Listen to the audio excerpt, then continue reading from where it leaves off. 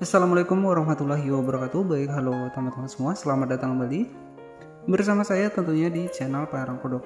Oke, pada kesempatan kali ini kita akan bahas cara ubah mode gelap untuk di aplikasi WeChat.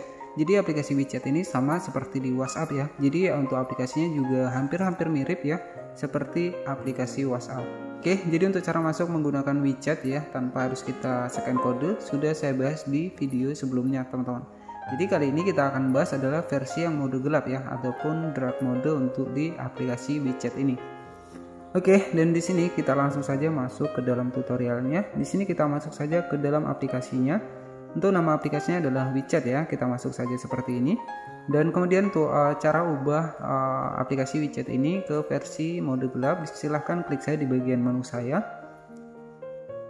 Oke, dan selanjutnya di sini tinggal kita pilih saya di bagian pengaturan dan kemudian di sini kita pilih di bagian menu umum ya teman-teman. Kemudian di sini ada mode gelap di bagian atas. Silahkan klik saja di bagian mode gelap. Kemudian untuk memunculkan mode gelapnya silahkan kan untuk kotak yang berlogo hijau ini kita matikan saja teman-teman. Kemudian akan ada muncul uh, dua versi. Yang mana yang pertama adalah mode normal kemudian yang kedua adalah mode gelap. Nah di sini tinggal kita pilih di bagian mode gelap. Dan selanjutnya kita klik saja bagian selesai. Oke kita klik saja bagian oke dan otomatis untuk aplikasi dari WeChat kita akan berubah menjadi mode gelap tonton ya. Nah, oke okay, seperti ini ya. Jadi uh, sama sama seperti di WhatsApp ya. Nah, oke okay, jadi untuk mengembalikannya ulang jika teman-teman ingin menggunakan versi normal silahkan teman-teman bisa masuk lagi ke bagian saya. Kemudian kita pilih di bagian pengaturan dan di sini kita pilih di bagian umum.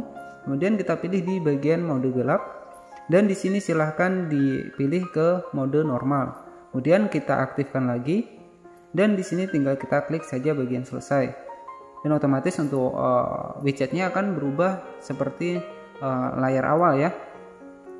Ataupun seperti yang biasa ya jadi versi yang mode uh, terang ya. Jadi cukup seperti itu saja untuk cara ubah mode gelap untuk di aplikasi WeChat. Dan semoga bermanfaat. Jangan lupa buat klik tombol subscribe dan aktifkan lonceng notifikasinya. Agar teman-teman mendapatkan pemberitahuan terbaru dari channel ini. Nah oke selamat malam dan wassalamualaikum warahmatullahi wabarakatuh